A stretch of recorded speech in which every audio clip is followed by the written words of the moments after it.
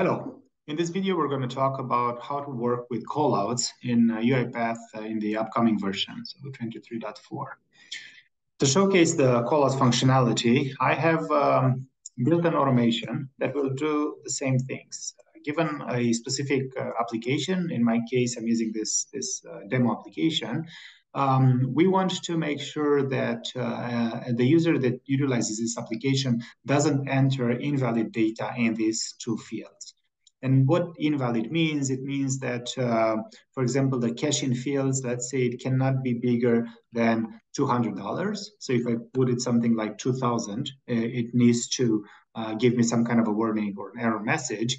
And uh, uh, the on US check cannot be bigger than $300, right? Right now, this application doesn't have any validation built in. So if I, I can put in any, any values, I can click the accept button and those will be accepted. Uh, we also want to make sure that the accept button, when you click on it, it doesn't get through unless these values are, are valid, as we said. So 200, respectively, $300. So uh, first I'm going to run the application, uh, the automation, sorry, just to show you how it works. And then we're gonna look at how it was built, okay? Um, so now the um, automation is starting, okay? Uh, you can see it here, it's uh, it's running. So I have, you know, my, my business application, as I said before. Um, thing is, if I type in here something like $20, you will see that nothing happens, right? It, it's just like just like before. But let's take this uh, cash-in field and let's write something like $400, right? As I um, when I when this field loses focus, so as I change to the next field, we can see that it we now have a, a message, a call out that says that the cash-in value cannot be bigger than $200, right? And if I come in and I fix it, um, you will see that that call out will go away and it's all good now. Same thing for this one. If I type in 400, it says that it cannot be bigger than $300. Again, and I can come in and um, and uh, and fix it. Let's say it's $100, and now I can hit the accept button. Okay. Um, if I type in something uh, like, uh, you know, something, um, a number that is not okay, right? If I hit the accept button, you'll see that actually nothing happens. The, the form doesn't get submitted, so the value doesn't reset to nothing. Instead, I'm, I'm shown the, the error. Same thing here, right? So if I if I type something on US check, uh, it says that it has to be bigger than 300. I click the accept button, and now actually it will show me the error for the first field that that uh, is uh, uh throwing such an error. So now that you've seen uh, how it functions, so again, entering a value that's bigger than 300 is going to, uh, 200 here is going to show um, a call out saying that. This one is going to show the other call out and hitting the accept button will not work until I comply to the, um, to the uh, actual values, right? There you go. When I hit the accept button now, you can see that it changed. Uh, proof to that is that the transaction number now it ends in 59. I hit accept is gonna end in uh, hit accept is going to end in 60. Good. Let's go back into Studio and see how this was built. Uh, first of all, the main file, you know, is nothing but one activity run local triggers. This is going to instantiate the uh, mechanism to start listening to various triggers that we have defined.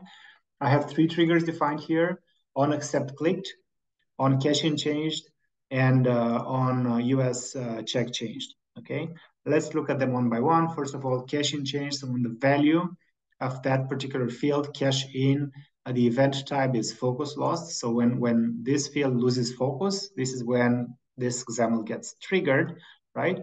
And when this happens, we're gonna invoke this validate.xaml file. And uh, if we look at the input arguments for this XAML, the element that we're looking at is the target event args, which is a local argument uh, dot target element, meaning what is the element that triggered this particular XAML. Um, the one that uh, lost focus is going to be in our case. The name of the, element is cash-in, and the minimum value is is uh, is 200, right? On US check changed, it's very similar. You know, we're actually listening to a different UI element now, same event, focus lost input arguments um, obviously now are slightly different. The same you know, element as a parameter. This time is going to be different because we're, we're monitoring a different element. The name is on US check and the minimum value is 300. Uh, let's look at the validate XAML file now. What it does is pretty simple. It gets the text of our element. It tries to convert it into a double. Um, and uh, then if the value is bigger than, actually, here's a bug.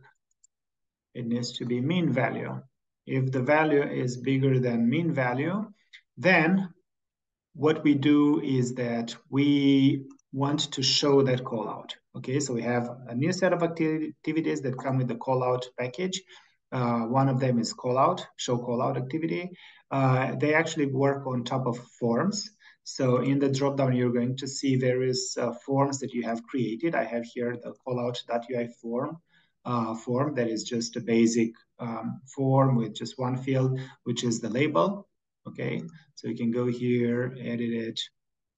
Uh, yeah, it's a label. The field key is text. Okay, and the default value is loading so that it shows nicely. So we're going to display this call out. And a call out, what you should know is that it's linked to a specific UI element. And we're going to see um, know, in a second what that means, right? And so we're showing this call out, and we also have some arguments for showing the call out, which is the text, the value of that label, right? And in our case, the value of the label is going to be element name cannot be bigger than dollar and then the minimum value that we've passed, so 200 or 300 dollars, based on um, based on what we're trying to do. And we also return true or false, right? And this we're going to see in the click uh, click accept why we do that in a second. The other thing we have here is that if everything is fine, then we close the form and then we assign valid to true. So yes, this field is valid. And also before showing the form, showing the call out, we choose to close form. So we close the call out and then we show it uh, so that it refreshes the value of the text field. Otherwise it doesn't uh, refresh. Uh, the validate uh, that XAML file, um, what we do here is um, not validate, sorry accept clicked. So when the user clicks the accept button, um, we have a trigger. Uh, the trigger in this case is a click event trigger. So when you click on the accept button, right, with the left mouse button, um, what we want to do is block the event, meaning that the click is not going to go through, at least not initially. And we're also including the children of that uh, UI element, the, the, the button itself, because the button has a label that just says accepts. And if you click on that label, if you don't check this box, clicking on that label is not going to trigger this XAML. And when you click this, uh, basically we find the caching, uh, caching uh, UI element, we validate it here, right? And if it's valid, then we move to the next element on US check, we validate it again, if both of them are valid, then what we do is we replay the user event. So that's another activity. You remember up there, we, we blocked the user event. So we, the user clicks, nothing happens. We actually run these validations. And if everything is okay, if everything is valid, then we replay the user event that is gonna make sure that the click goes through. It actually, you know, replays the, the, the click to that particular UI element.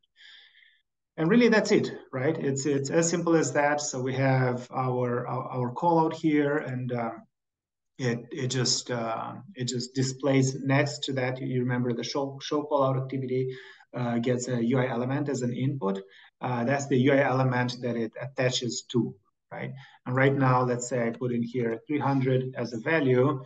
Um, you will see, you know, the uh, uh, the the, the, the, the call out, right? Uh, cash-in cannot be bigger than 200. One thing that you'll notice is that as I move this application around, that call out actually moves around as well. It's a different window from the from the main application window. If I minimize it, it goes away. Sorry, if I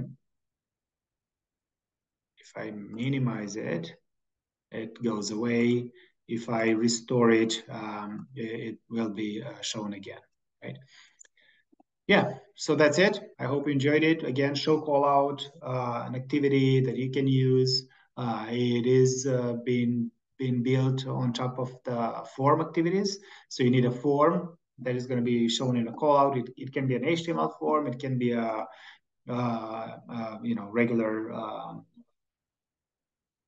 form, and um, it has all the capabilities that a form has. So you can do triggers within, you know, inside the, the, the call out. It can have buttons, it can have close buttons, and so on.